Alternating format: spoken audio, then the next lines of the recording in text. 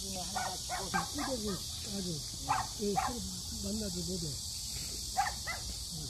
그런 거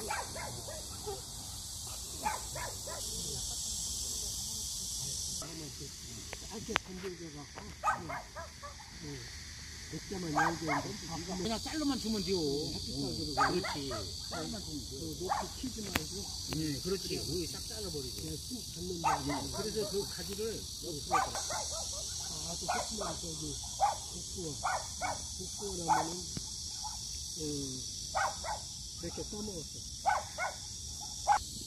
배- 배추가 아주 배추를 싸갖고서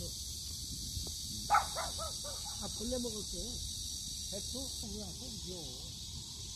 아니, 안, 안 할.